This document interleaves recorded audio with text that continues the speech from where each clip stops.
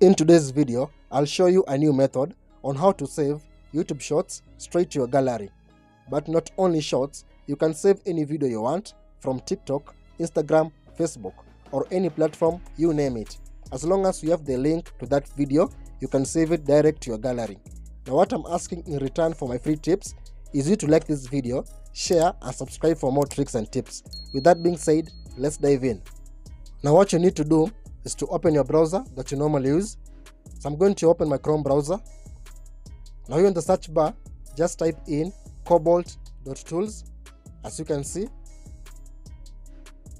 Then click on enter. So now we learn to this website. We are going to use this website to save videos to our gallery.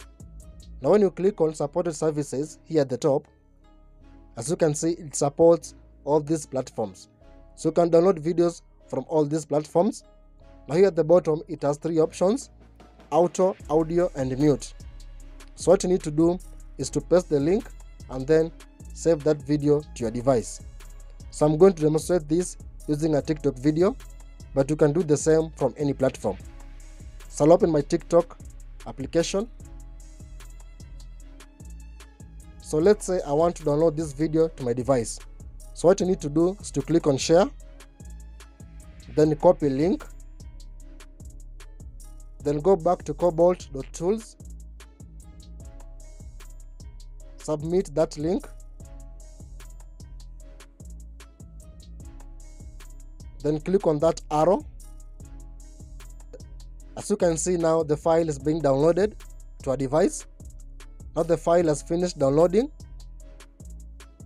now when you go back and open our phone's gallery as you can see we have the video that we downloaded from the tiktok application. So this is how to save any video from any platform of your choice. So if you found this guide useful consider giving this video a thumbs up share and subscribe. So thank you so much for watching and I hope to see you in the next video.